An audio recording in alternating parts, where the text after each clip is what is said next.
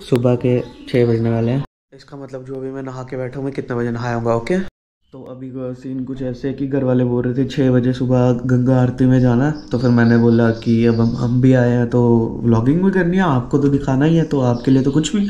तो फिर चलता है अब छः बजे गंगा की आरती में। अब छः बजे तो वहाँ पे पहुँच नहीं सकते कोई, सवा छः बजे तक ही पहुँचेंगे। फिर हाँ स्वागत है आपका हरिद्वार के एक और नए ब्लॉग में। आज के ब्लॉग में मज़ा आने वाला है। तो फिर देखो। चिल करो एंजॉय करो और अभी आगे देखो। पार्डन एस गाइस थोड़ा हमने लेडीज़ को पहले फ्रेश फ्रेश होने दिया तो उसकी वजह से हम लेट हो चुके हैं। अब गाड़ी भी निकलने वाली है तो हम देखते हैं अब लिफ्ट में भी बढ़ गए कि हम गाड़ी को पकड़ पाते हैं कि नहीं पकड़ पाते हैं ओके गाइस आप देख सकते हैं कि हम भाग भाग के रोड पे आए गाड़ी निकल गई थी हमने पिछले वाले गेट पे। गाड़ी भगाई है। ये आ चुकी है हमारी गाड़ी।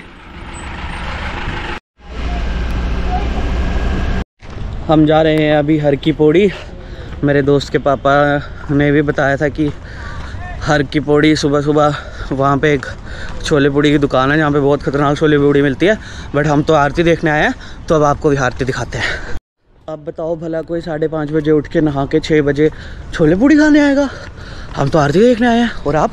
आरती देखने आए हैं। आरती देखने आए हैं? देखते ना फिर आपको भी दिखाते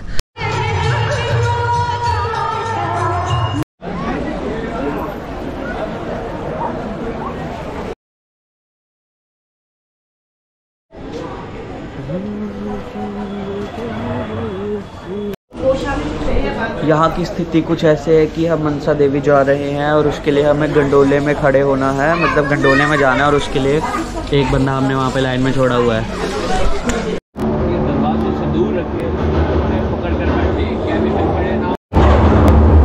Full power gondola. आसमान की ऊंचाइयों में उड़ते हुए।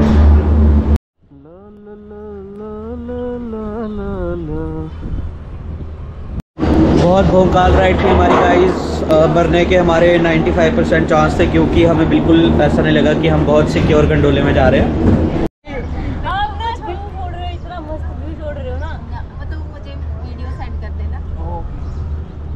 तो आप सोच रहे होंगे कि अर्दे भाई वो आप फ़ेमस हमें छोले पूड़ी कब दिखाओगे? तो हम चले गए थे सच्चे मुँह से। हम अपनी मर्ज़ी से गए थे सच्चे मुँह मनसा देवी।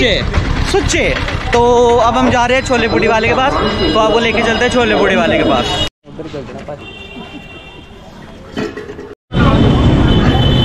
तो हम पहले कुलचा ट्राई करने वाले हैं, उसके बाद चलते हैं उधर।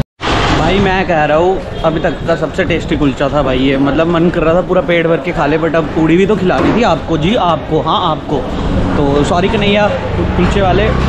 मैं सोच रहा हूँ, मैं भी मतलब मैं और अभी भैया कटरा भाई यही खोलने वाले हैं भाई जबर तो गाइज़ यहाँ पे दूसरी वाली पूड़ी मिल रही है। चने पूड़ी वाली पूड़ी नहीं मिल रही है दूसरी वाली पूड़ी मिल रही है। तो फिर अब हम कहीं और जा रहे हैं, वो वाली पूड़ी खाने यहाँ पे आके हम लस्सी पी लेंगे। हम वापस आ चुके हैं अपने बेस में। आपको पता है हम छः बजे के निकले थे, अब दस बज चुके हैं और हम थक गए हैं बहुत ज़्यादा। अब हम सोने जा रहे हैं, अगर बाद में घूमने निकलेंगे तो आपको बताते हैं।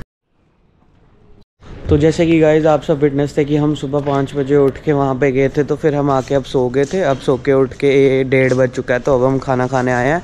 और मम्मा वगैरह सारे दोबारा चले गए हरिद्वार गंगा में नहाने तो वो हम जा नहीं पाए तो अब खाना खाने चलता है। सो so, ये है हमारा खाना। यस हाँ सही पहचान रहे हो आप इन्हें। ये वही है खूबसूरत नानी और ये है इन लेडीज़ की शॉपिंग ये हमारे महापापी जिनको बार बार नहाना पड़ रहा है।